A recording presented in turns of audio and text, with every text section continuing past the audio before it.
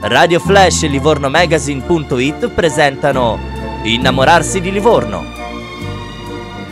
Galileo Galilei a Livorno di Fabio Marcaccini.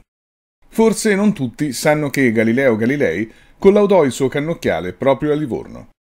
Il porto mediceo è associato al nome di Galileo perché si ritiene che fra il 1590 e il 1592 Giovanni de' Medici abbia progettato una macchina per votare la Darsena di Livorno, riguardo alla quale Galileo espresse un giudizio negativo.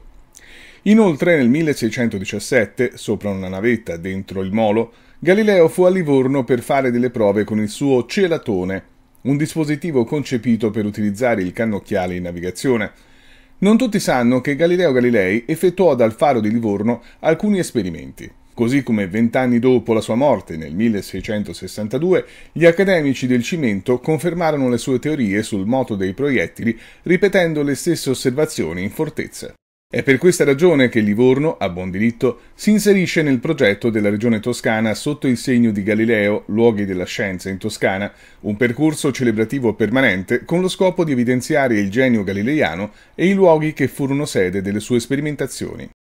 Aderiscono al progetto, oltre a Livorno, le città di Arezzo, Firenze, Pisa, Pistoia, Prato e Siena, ciascuna organizzando iniziative specifiche, attingendo alla propria storia e valorizzando il proprio patrimonio.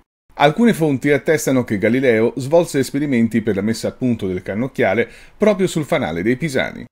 Fra la fine del 1657 e gli inizi del 1658, dopo la morte di Galileo, gli accademici del cimento fecero a Livorno alcune esperienze sugli agghiacciamenti, cioè sul congelamento dei liquidi.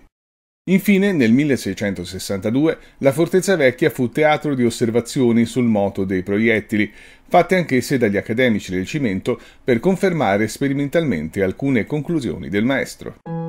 Potete riascoltare questa puntata in on demand su www.livornomagazine.it e nella sezione FlashTube di www.radioflash.info.